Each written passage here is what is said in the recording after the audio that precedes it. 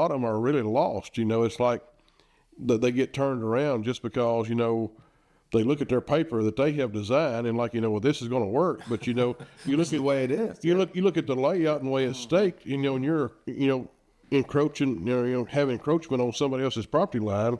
You know, it's like you know it's it's not going to work. You know, Yeah. that's just one scenario. Yeah. You know, and there's always like conflicts. You know, like in in utilities. You know, like where you got you may have three or four utilities crossing in one area.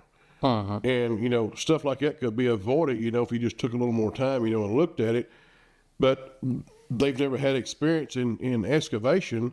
And so, you know, they don't know how dangerous or, or, or how, you know, rough this scenario can be by having these utilities stacked on top of each other, especially new utilities going in together. Oh wow, yeah. You know, you got one utility goes in, then you got another utility, and you're working in soil that you know hasn't been weathered, you know, long enough, and, and so it you know it can be dangerous trenches, mm-hmm. and you know that you're dealing with, and and not only that, but you know it's just a lot of a lot of things can happen. You know that if you had that experience and, and worked in those fields, you might look at it different when you design it.